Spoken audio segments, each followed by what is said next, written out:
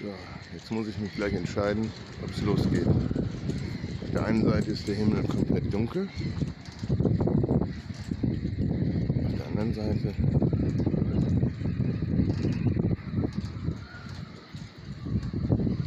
der Wind hat etwas nachgelassen.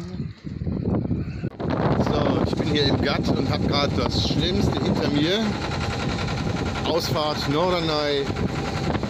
Ein Wetterfenster erwischt, wahrscheinlich ein kleines, wo es mal ein ganz klein bisschen weniger weht. Gerade die Wolken da hinter mir, die richtig, richtig Sturm machen, bis zu 9er Böen.